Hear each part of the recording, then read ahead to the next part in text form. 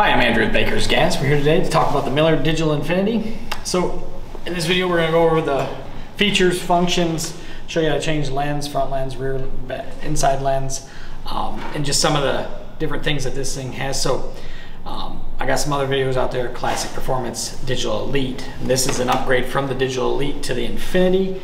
So I got two different ones. This is the Relic model, and then this is just straight black model. So you can check out all the uh, graphics that they have. We'll link those down below. There's multiple. I really like the Relic. I have a Relic Infinity. Um, this The Infinity has the biggest viewing range of all helmets out there. It's the biggest in Miller's lineup. They have Clearlight 2.0 technology.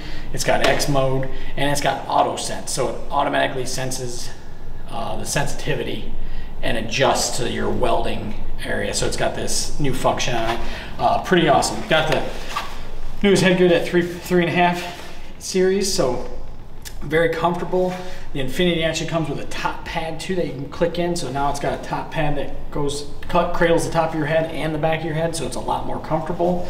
Um, it is the heaviest hood out there on the market as well. So that's something you gotta think of too uh, when you're getting it. But that's because of the viewing range is so big.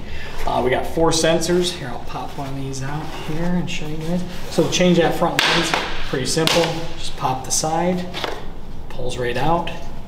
And then the lens comes right out like that. And then to get the actual ADF out of there, a little bit trickier because it's a little bit tighter in there.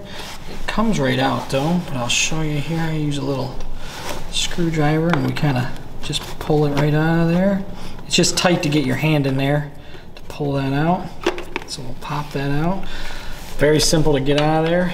And you can see here, Clearlight 2.0 lens technology, digital infinity. We got four sensors on this unit, so maximum coverage. Solar assist for your batteries. Two batteries here, they're on the sides now. One there, one there, those just slide out. Um, and we'll flip this thing around here. So we got our inner lens that's just clipped in there. Um, pops right out, you just pop it out like that, pull on the front. Then we got our different mode. We'll peel that off turn it on. So we got weld, cut, grind, and X mode. So pretty, uh, pretty nice, similar to the Digital Elite. Um, remember um, on our weld, oh, we're in X mode right now. So weld, we got right half shades all the way up to 13, down to eight. Um, in cut mode, we got shade five all the way up to eight. Pretty nice feature. We got grind mode, just a straight shade three, so it's gonna be at the resting shade. Then we got X mode, which is recognizes electromagnetic arc. So when you pull the trigger, you create an electromagnetic pulse and then it senses that. So if you're welding outside in the sun, it won't keep flashing. And then on this one as well, we got our arc time and arc count. We got memory one, memory two. So if we like that setting, we just click on it, hold it, it'll give us memory one. You got two memory portions there. Then our arc time, obviously zero hours on this unit, but to keep track of that. And then our arc count is how many times that unit flashed. So pretty awesome. Got our on off. That's how you toggle through the modes. Pretty simple hood though. Um, I love it because of the big viewing range. And that's why I have I have a relic and I have a black one. I have a black one in the original green, not 2.0, and then I have a relic in the 2.0. And man, I tell you what, it, when you get the 2.0 and that, that huge viewing range, it's awesome. You can see a lot of stuff. Um, very clear, and uh, I, I, just, I really like the Infinity.